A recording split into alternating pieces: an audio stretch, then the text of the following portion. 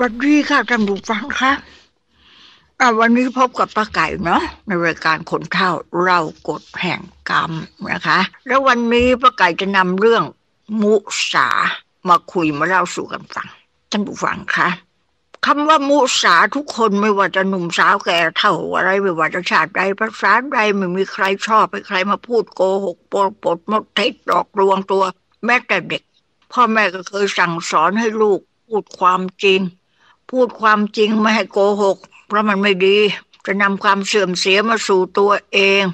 โตขึ้นก็จะทำร้ายตัวเองทางอ้อม พ่อแม่สมัยก่อนนะที่หินตีสั่งสอนเมื่อจับได้ว่าเด็กโกหก ก็ถือว่าการพูดโกหกเนี่ยสำคัญในชีวิตเรื่องหนึ่งแต่สมัยนี้มีบางคนไม่ชอบไปคนอื่นมาพูดโกหกกับตัวเอง แต่ตัวเองกลับไปพูดโกหกกับคนอื่น จะเปรียบเทียบก็เช่นเดียวกับพวกปากอยู่ไม่สุขนะท่านผู้ฟัง ชอบหาเรื่องด่าว่าผู้อื่น แต่ก็ไม่อยากให้ผู้อื่นด่าว่าและเถียงตนนะท่านผู้ฟังเอาคราวนี้ป้าไก่ก็จะเข้าเรือเรื่องเลยนะ ในเรื่องมุสา ก็สมมุติชื่อก็แล้วกัน คือว่าเรื่องนี้เรานำมาจากหนังสือท่านขุนทอเลียงพิบูลนะคะ ก็สมมติชื่อท่านขุนทอเลียงพิบูล ได้สังสรรค์กับเพื่อน นัดกันสังสรรค์คุยกันในระหว่างเพื่อนฝูง ก็เวลาก็ล่วงไปต่างคนก็ต่างเท่าชะแรแก่ชรากันแล้ว ดังนั้นเมื่อพบปากกันก็คุยกันเล่ากันถึงเรื่องต่างๆ ใครมีอะไรก็เล่าสู่กันฟัง ก็มีเพื่อนกันคุณทอคนหนึ่ง ชื่อคุณสุชาติในสมมุติชื่อนะ เพราะเรื่องนี้นานมาแล้วสี่สิบห้าสิบหกสิบไปมาแล้ว อ่า สมมุติชื่อว่าคุณสุชาติ ก็เล่าเรื่องให้ท่านคุณทอฟัง แล้วก็เล่าเรื่องให้เพื่อนๆที่นัดสังสรรค์กัน เล่าให้ฟังบอกว่า เมื่อสมัยก่อนที่คุณสุชาติยังมีอายุไม่ครบยี่สิบคุณสุชาติไปรู้จักกับคนเป่าปีประจำโรงหนังคนหนึ่งมีอายุมากแล้ว สมัยก่อนเขาฉายหนังเงียบเมื่อต้นรัชกาลที่หกเมืองไทยเรามีโรงหนังในกรุงเทพเพียงสามโรง โรงแรกชื่อปีละกา แต่ก็ถูกไฟไหม้ คงเหลือโรงหนังวังพระองค์เจ้าปรีดา และโรงหนังพัฒนากรสองโรงนี้เป็นคู่แข่งกันตลอดมา มีของแถมและมีการจับฉลากเสมอ ตลอดจนแจกปฏิทินปีใหม่สมัยนั้นก็เรียกว่าหนังญี่ปุ่นเพราะชาวญี่ปุ่นนำมาแสดงในเมืองไทยครั้งแรกที่สนามน้ำจืด คนดูก็ยังไม่มากเท่าไหร่ ต่อมาคนชอบดูหนังตลกมาก เพราะดูท่าเพื่อโฆษณาเรียกร้องให้คนซื้อตั๋วเข้าดู ค่าดูหนังสมัยก่อนก็มีสามชั้น ชั้นต่ำมายาวนั่งเรียงกันไม่มีขอบเขตเขาเก็บค่าดูคนละหนึ่งสลึงเด็กครุ่งราคา ถ้าเป็นชั้นสองเป็นเก้าอี้วายค่าดูก็สองสลึง แต่ก็มีเลือดชุมนั่งไม่ค่อยมีความสบายหรอกไอเลือดตัวเล็กๆมันกัดพอนั่งเพลินก็ออกมากัดอ่าท่านผู้ฟังบางทีก็กลับมาบ้านก็ยังมีเลือดตาไอ้ดามเสื้อสมัยก่อนเนาะ ติดมาบ้าน ครั้งละหลายๆตัว ถ้าเป็นบล็อกอ่าเก้าอี้หุ้มผ้าขาวสะอาดนั่นชั้นหนึ่งฝรั่งก็ชอบดูกันมากชั้นนี้อยู่ข้างบน เก็บค่าดูคนละหนึ่งบาท ก็จะมีเลือดไม่มีก็ท่านท่านผู้เล่านี่บอกว่าไม่ทราบเพราะไม่เคยไปนั่ง ส่วนชั้นสามไม้ยาวมีพนักพิง ก็ไม่ใช่ย่อยตามแนวไม้ ที่ประกบยังเป็นร่องหรือพื้นไม้ แตก ตัวเรืออาศัยอยู่กันเป็นกลุ่มท่านผู้ฟังค่ะ ตอนนี้พูดถึงว่าสมัย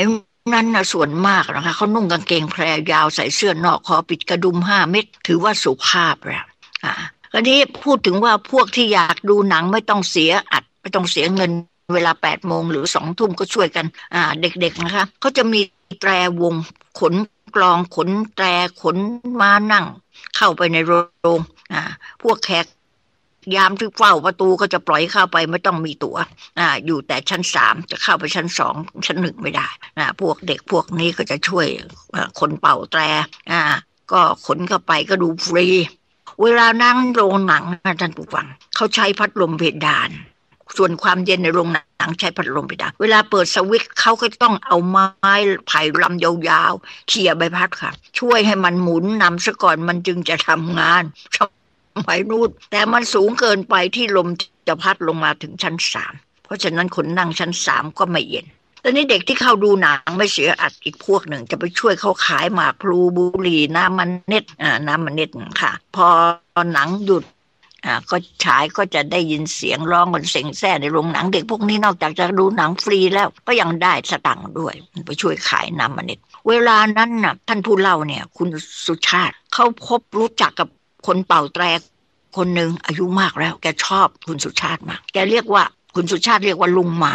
แกเช่าบ้านอยู่ไม่ไกลจากบ้านของท่านผู้เขียนเท่าไหร่หรอก ท่านผู้เล่าเวลาหนังเปลี่ยนโปรแกรมใหม่แกชอบเรียกคุณสุชาติไปดูไม่ต้องเสียอัด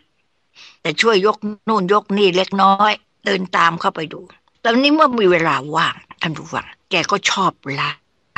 ค่ะ แกชอบเล่าเรื่องชีวิตของแกให้คุณสุชาติฟังเป็นเชิงสั่งสอน บางครั้งก็แสดงความน้อยอกน้อยใจในชะตาชีวิตที่ถูกผลักดันให้แกมาเป่าปีด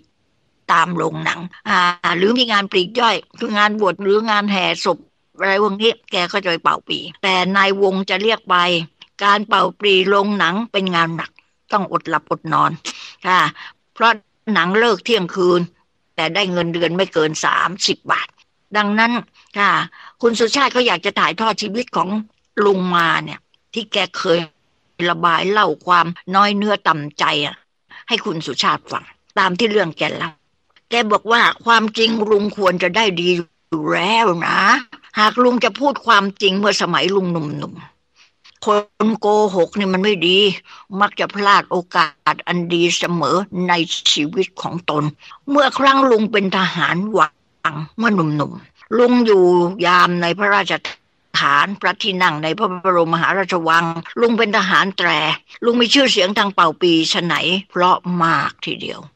คือหนึ่งสมเด็จพระพุทธเจ้าหลวงพระองค์ท่านประทับอยู่บนพระตำหนัก เมื่อทรงได้ยินเสียงปีที่ลุงเป่าก็พอพระทัยมาก ก็รับสั่งบอกโอ้ไอ้หนึ่งใครนาะมันเป่า ปเพราะจริง ๆ ไหนต้องลงไปดูมันหน่อยสิ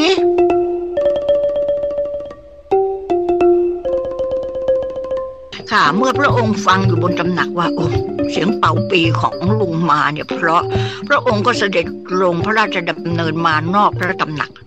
พอจบเพลงก็เห็นในหลวงเสด็จมายืนตรงที่ลุงยืนยาม ลุงตกใจ เต้นตื่น ยืนระวังตรงถวายความเคารพตัวแข็งเลย ในหลวงประทับยืนตรงหน้าลุงทรงแต่งไพรเวทแล้วก็รับสั่งกับลุงมาด้วยน้ำพระทัยเมตตากรุณาบอกว่า เฮ้ย เองนี่เป่าปีเพราะดีมาก ชื่ออะไรวะ ชื่ออะไร ลุงมาก็รีบกราบทูลพระองค์ท่านในท่าระวังตรง มือหนึ่งถือปีหน้าเชิดว่าข้าพระพุทธเจ้าชื่อพลทหารมาไปเยอะค่ะ ในหลวงรับสั่งต่อไปบอกว่าอเออ เคยเข้าบ่อนเบี้ยเล่นทัวร์บ้างหรือเปล่าแล้ววะ เองอะลุงมาก็ทูลในหลวงบอกว่า เปล่าพี่อะค่ะข้าพุทธเจ้าไม่เคยเข้าไปในบ่อนเบี้ยเลยพี่อะค่ะ ก็ในหลวงรับสั่งต่อไปว่าเออเออเอ็งนี่กินเหล้าหรือเปล่าวะลุงมาก็บอกเปล่าพี่อะค่ะ กัญชาล่ะอะสูบกัญชาหรือเปล่าลุงมาก็บอกเปล่าพี่อะค่ะ ลุงรีบตอบด้วยความตื่นเต้นไม่ทันคิดว่า ไอ้คำเปล่าพี่อะค่ะข้าพระพุทธเจ้าไม่ชอบสูบฝิ่นกินเหล้าเมากัญชาพะยะค่ะ พระองค์ถามอย่างไรก็บอกไม่เปล่าพะยะค่ะ เปล่าพะยะค่ะ ตอนนี้เมื่อลุงกราบทูลแล้ว ตกใจ เผลอตัว เหงื่อไหลขาสั่นทีเดียวเพราะตื่นเต้นที่เจ้าฟ้าเจ้าเป็นดินทรงเมตตาต่อลุง ซึ่งเป็นพลทหารเป่าแตรเล็กๆก็กราบทูลไปผิดๆถูกๆอะว่างั้นนะคะ จะว่าดีใจก็ดีใจจะว่ากลัวก็กลัว ในหลวงท่านทอดพระเนตรเห็นอย่างนั้นก็ส่งพระสวนอย่างพอพระไทยอ่า แล้วก็รับสั่งว่า โอ้โอ้ไอ้มา เองเนะเป่าปีไพเราะดีมากนะข้าชอบเสียงปีของเอง และเองก็สมควรนะจะดีกว่านี้ไหนไหนข้าขอดูหน้าเองให้สนัดจะหน่อยได้ไหมอ่าลุงมาก็เงยหน้าดีมาก เออข้าอยากจะถามเองอีกสักหน่อยนึงเองกินเหล้าหรือเปล่าลุงมาก็ตอบว่าเปล่าเฮ้ยอะค่ะ สูบบุหรี่กินกัญชาาหรือเปล่าเปล่าเฮ้ยอะค่ะ เข้าบอลเบี้ยอ่า เล่นเบี้ยเล่นทัวเล่นโปหรือเปล่าเปล่าพะเยะค่ะอ่าเปล่าหมดในหลวงถามในหลวงชอบใจ ชมบอกว่า เออเองเป่าปีได้เพราะมากถูกใจค่ะ เออ เอาอย่างนี้ข้าจะรับเองเนะ่ะเข้าไปอยู่ในวังกับข้าเป่าปีเพราะดีมากนะเอาจะเข้าไปไหมล่ะ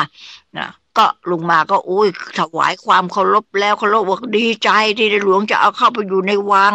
จะได้เงินเดือนกินนะดีอกดีใจมากเลยนะก็เลยบอกในหลวง อะไรก็ปฏิเสธเปล่าหมด พระองค์ก็ทรงจับหน้าลุงมาให้หันเข้าหาแสงไฟที่อยู่ในพระบรมหาราชวัง เวลานั้นลุงมาใส่หมวกทหารวัง ปิดลงมาครึ่งหน้าต่ำกว่าคิ้ว แม้พระองค์จะทรงเห็นหน้าลุงเข้าฝาไฟแล้วก็ยังเห็นหน้าไม่ถนัด เพราะหมวกมันปิดลงมา พระองค์ก็ทรงยื่นพระหัตถ์จับที่กระบังหมวดแล้วก็รับสั่งบอกว่า โอ้ ไหน ดูหน้าเองให้ชัดๆสิวะ ขอดูหน้าหน่อยสิ ไหน เงยหน้าขึ้นสิ ลุงมาก็รีบเงยหน้าตัวสั่นงานงกทีเดียว เออ ไหน ให้ข้าเปิดหมวกเองเห็นหน้าถนัดอีกหน่อยสิ รับสั่งแล้วก็ทรงเปิดหมวกของลุงมาออก โอ้ยลุงมาตกใจมาก ไม่นึกว่าในหลวงจะทรงโปรดลุงเพียงลุงเพียงเพียงนั้น ที่ลงตกใจมากก็ไม่ใช่เพราะอะไร เพราะว่า ลุงได้ซ่อนช่อกัญชาไว้บนหัว แล้วเอาหมวกครอบปิดเอาไว้ คิดว่าเป็นซ่อนมิดชิดไม่มีใครรู้เรื่อง นี่ราคาสำคัญที่สุด อ่า เมื่อออกเวรแล้วจะไปสูบ แต่พอพระองค์ทรงเปิดหมวกพ้นหัวเท่านั้นแหละไอ้เจ้ากัญชาช่อนั้นมันก็ล่นตกลงมาทันทีต่อหน้าพระพักของพระองค์ โอ้โห ลุงใจหายหมดเลยท่านผู้ฟัง ค่ะใจหายหมดทำยังไงล่ะท่านผู้ฟังค่ะก็เลยกลัวพระอาญาสิตัวสั่นในหลวงทรงกริ้วพระลุงโกหกเจ้าฟ้าเจ้าเป็นดินโทษหนักมาก อย่างเบาก็ถูกเคี่ยนหลังราย แล้วเอาเข้าคุกทหาร แต่พระองค์ไม่ได้ทรงกลิ้วอย่างลุงคิด เพียงแต่พระองค์ทรงเห็นกัญชาตกลงจากหัวลุง แล้วพระองค์ก็รับสั่งเพียงคำเดียวบอกว่าระยำ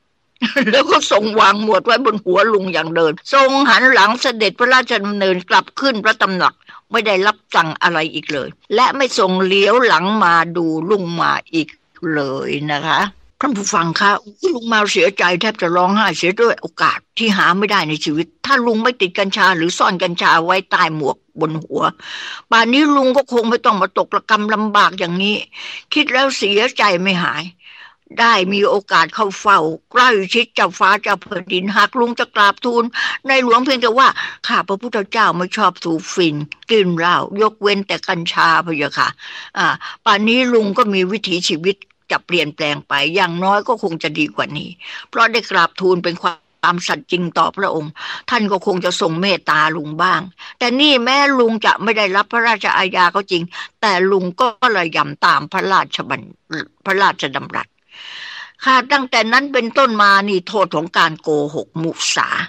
ลุงไม่ได้พบในหลวงอีกเลย จนออกจากราชการทหารรู้สึกว่าจิตใจลุงคุมดีคุมร้ายไม่ปกติเสียใจ การหากินก็พอไปวันๆนี่ลุงมาแกเล่าให้คุณสุชาติฟังนะคะ โศเศร้าโศกเสียใจมาก รู้สึกนึกถึงความหลัง นี่เป็นชีวิตของลุงมาท่านผู้ฟัง เป็นคนเป่าแตรลงหนังเมื่อสมัยก่อน ค่ะ แกเล่าให้คุณสุชาติฟังบอกขอให้พิจารณาเอาเองว่าข้อเท็จจริงมันเป็นยังไง เพราะเรื่องเกิดขึ้นในสมัยสมเด็จพระปิยมหาราชรัชกาลที่ห้าแล้วคงจะมีคติบ้างไม่มากก็น้อย ในเรื่องมุสานี่แหละค่ะ แกพลาดโอกาสอันดีอย่างอย่างแรงทีเดียวท่านผู้ฟังค่ะ เพราะฉะนั้น ค่ะก็ฟังเอาไว้เป็นอุทาหรณ์นะคะ ท่านผู้ฟัง เรื่องโกหกพกกลมนี่ไม่ดีอย่างมากอาจจะพลาดโอกาสอันดีงามไปนะคะะท่านผู้ฟังคะค่ะนี่เรื่องมุสากฎแห่งกรรมนะคะ ค่ะก็เราก็ก็จบเพียงแค่นี้แหละเอาละค่ะ วันนี้ประกายลาตรงนี้นะ เวลาหมดแล้ว หวัดดีค่ะ